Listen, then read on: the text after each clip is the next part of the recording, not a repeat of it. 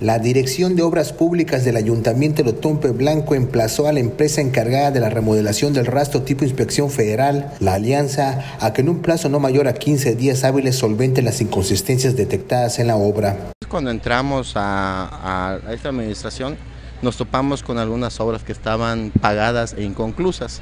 Era una de esas este rastro.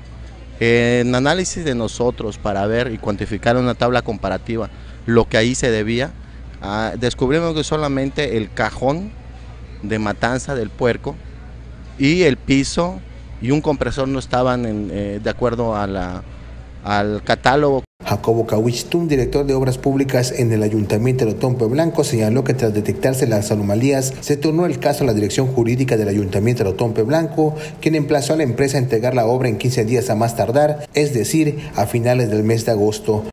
Ahorita, actualmente está trabajando en eso y está, le dieron por la parte jurídica del municipio 15 días para solventarlo. Indicó que ya son nueve meses de atraso con esta obra, por lo que tienen 15 días para solventarlo. De lo contrario, se tomarán las medidas al respecto, ya que el tema está en el área jurídica para su atención. Para Notivisión, José Palma.